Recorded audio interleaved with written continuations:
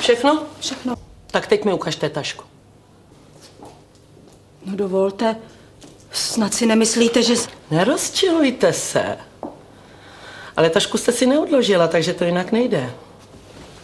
Odkládací stolky jsou tamhle. To si nenechám líbit. Ale necháte. To bych udělala i vlastní mámě. Za pokladnu mi nikdo s taškou nesmí. Pamatujte si, že si jdu okamžitě stěžovat. Nejdete. Prosím. 58-50. Majitel tady momentálně není. Přijdu zítra. Jen přijďte. Eh, Pan šéf bude mít radost, že mu hlídám jeho penízky.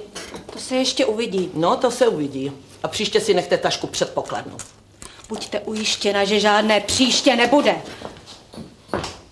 Co si o sobě myslí?